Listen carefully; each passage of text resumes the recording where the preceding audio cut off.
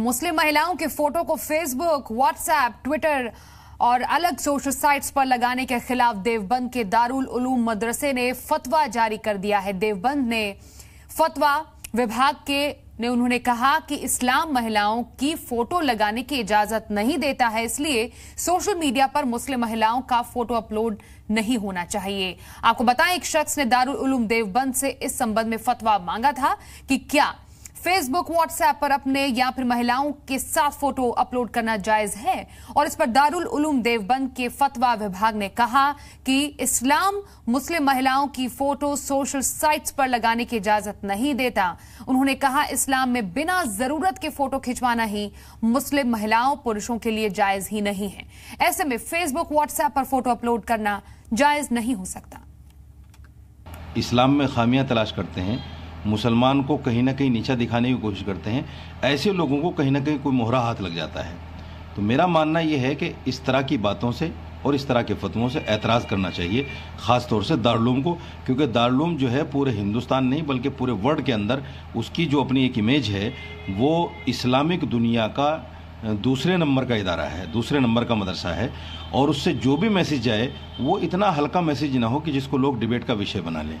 वो ऐसा हो जिससे कुछ लोग प्रेरणा लेकर कहीं ना कहीं अपनी ज़िंदगी में सुधार लाने की कोशिश करें।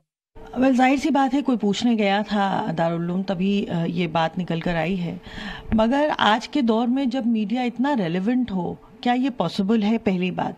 दूसरी बात कि जो लोग ये बात बता रहे हैं कि सोशल मीडिया पे जाकर या किसी भी मीडियम पे जाकर अपनी फ़ोटोग्राफ्स पोस्ट करना गलत है, वो मुझे लगता है कि पहले तो जो जितने भी हमारे मौलाना हैं, जो जो प्रॉब्ली हर शाम को टीवी चैनल्स पर बैठकर डिस्कशंस और डिबेट्स करते हैं। उनको कैसे रोका जाएगा या उनसे शायद शुरुआत होनी चाहिए?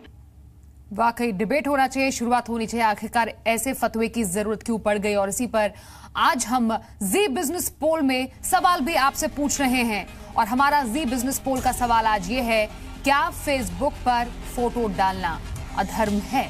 आप अपनी राय हमें दीजिए। ऑप्शन ए बी या सी ए हाँ बी नहीं या सी कह नहीं सकते। तरीका एक ये है एसएमएस करने का जेड बी पी लिखिए। अपने मोबाइल फ़ोन पे अपना आंसर ए बी या सी और हमें 57575 पर सेंड कर दीजिए। बाकी दो तरीके हैं।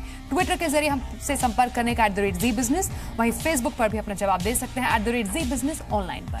और आपको बताएँ कि अब तक इस पूरे सवाल पर जितने व्यूअर्स के हमारे पास जवाब आए हैं, उनका क्या कहना है? अठहत्तर परसेंट लोगों का कहना है कि ये जो फतवा निकाला गया है कि फेसबुक पर फ़ोटो मत डालिए, ये सरासर गलत है। अठहत्तर परसेंट लोगों का ये मानना है। और हम आपको बताएँ कि रात को आठ बजे आप इसी पर बिग स्टोरी बिग डिबेट देख सकते हैं। और आज का हमारा यही मुद्दा है फेसबुक फतवा पर।